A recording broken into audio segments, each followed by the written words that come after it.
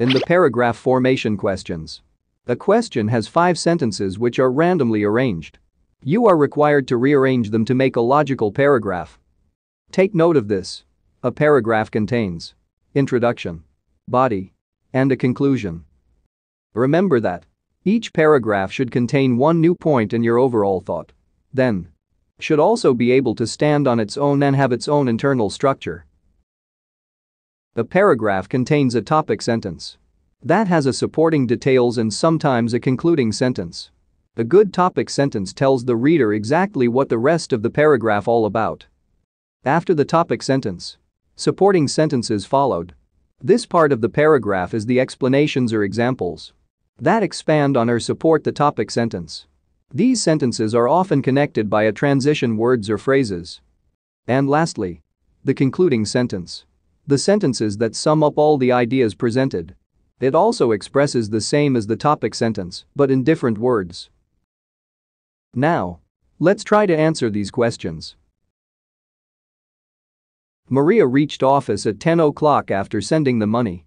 Maria's parents needed some money. After that, she spent almost half an hour at the post office. So, she went to bank to withdraw some money.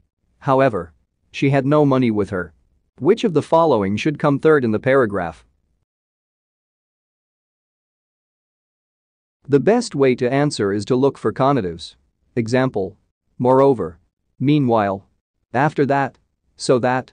Although. However. And etc. These connectives are usually not found in the first sentence of a paragraph. Usually it will be in either second, third, fourth, or maybe in the fifth sentence. Then. Try to understand the sequence. So in this problem, either Roman numeral 1 or 2 will be our first sentence. Since there is no connectives at the beginning.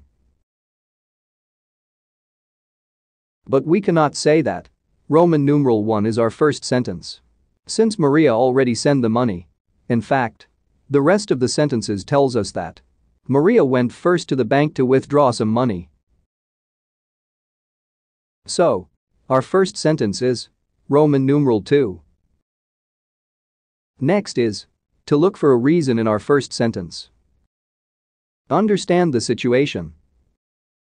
What do you think will Maria do? Since her parents need some money. Yes, you're right. She went to the bank to withdraw some money since her parents needed it. But before that, why did Maria withdraw money from a bank? Maria withdraw some money in the bank. Since she had no money with her. So, in this case, Roman numeral 5 will be our second sentence. Followed by Roman numeral 4. After Maria got the money with her. What do you think will Maria do next? Yes, you're right. Since Maria's parents needed the money. She will then send it to a courier service. So, after she withdraw some money, she spent her time at the post office. Therefore, Roman numeral 3 will be our fourth sentence. Lastly, Maria went back to her office after sending the money from the post office. Let's go back to the question. Which sentence should come third? The correct answer is Roman numeral 4.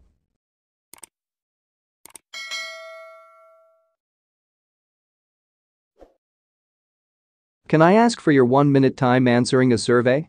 The survey will help me improve my teaching strategy in our channel. The survey link can be found in the description box below. Thank you so much. And bye for now.